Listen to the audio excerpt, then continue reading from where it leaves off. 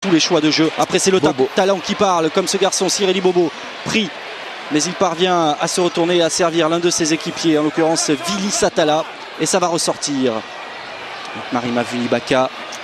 On voit que c'est deux équipes qui se connaissent bien, personne ne s'affole, personne ne, ne, ne tente n'importe. Oh là Oh, là c'est bien là fait, là Johnny là. Danivutu qui va aller inscrire loi, magnifique. le premier essai de cette rencontre sur un superbe pas de loi. C'est le symbole de ce jeu fidjien et de la classe et du talent euh, de ces joueurs. Merveilleux pas de loi pour faire la différence. Franchir le rideau défensif et partir inscrire l'essai entre les poteaux. Les Fidjiens qui euh, sont en tête après seulement euh, deux minutes de jeu dans cette finale.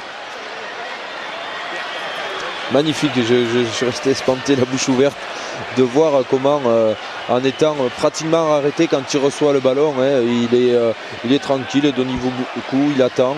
Et d'un coup, il fait un pas de loi, un petit crochet intérieur, une accélération sur l'extérieur et on ne peut pas passer.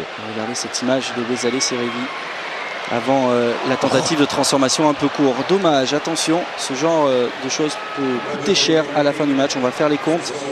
Deux points, deux perdus en route déjà pour les Fidjiens, mais ils sont en tête.